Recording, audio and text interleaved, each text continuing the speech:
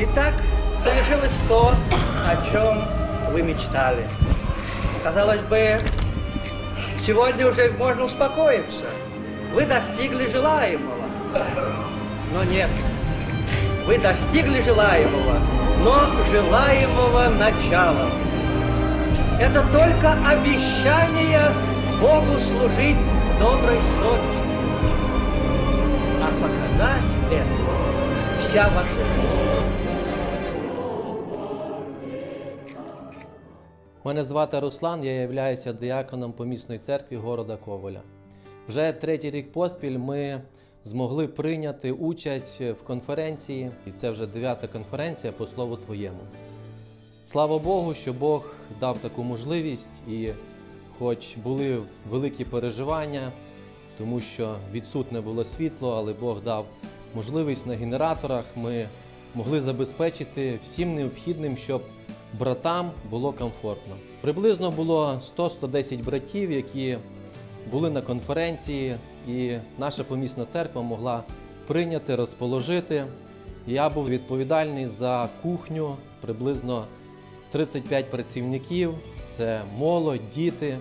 Всі, хто хотів би потрудитися для Бога, вони трудилися і забезпечували всім необхідним, щоб брати могли себе тут комфортно чувствувати. Хай Бог благословить всіх тих, хто був учасником, хто фінансово підтримував, хто молився по домах. І моє побажання, якщо Бог продовжить життя і на наступний рік буде 10-та конференція, запрошую усіх братів прийняти в цьому участь. Хай вас Бог всіх рясно благословить.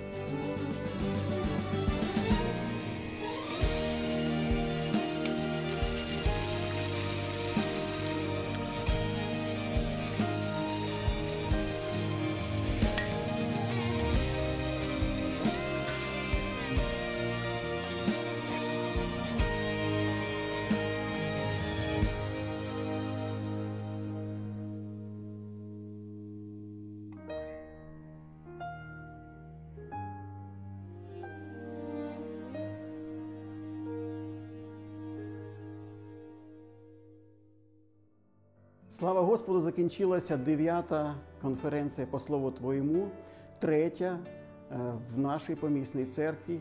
І як пресвітер церкви помісної, я щиро вдячний Господу, що саме Господь дозволив нам послужити для Його слави.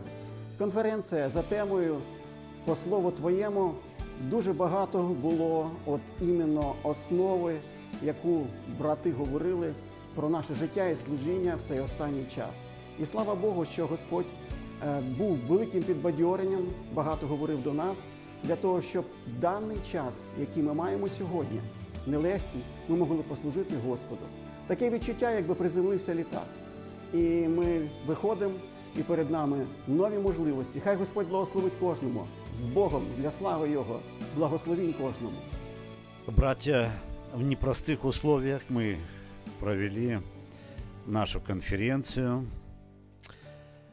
И слава Богу, что мы могли собраться в этот военный период времени с разных мест и городов.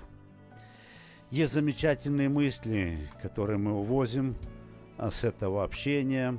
Мы слышали, что Бог особенно во время войны благословляет свою церковь, и последние войны показали, что происходило в служении народа Божия, когда вокруг бушевали громы и взрывы и трагедии.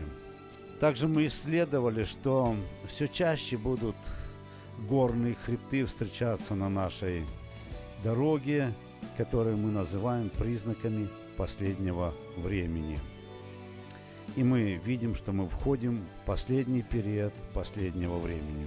Также мы услышали с вами о кризисах в жизни служителя и выход из этого кризиса в откровенной, искренней беседе с Господом, что и сделал муж Божий Асав.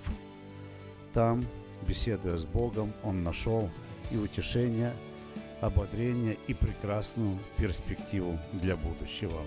А пока мы будем славить, хвалить и благодарить Господа, как мы и изучали, что в каждом слове сокрыта своя глубокая истина, поклонение и чуткого взаимоотношения с Богом.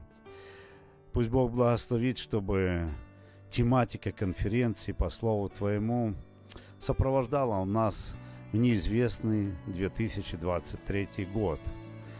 И если продлится жизнь наша в дальнейшем, приглашаю всех на юбилейную конференцию, десятая, которая будет по счету. Пусть Бог поможет нам проверить свою жизнь, свое хождение, свое домостроительство, чтобы они действительно были по Слову Твоему.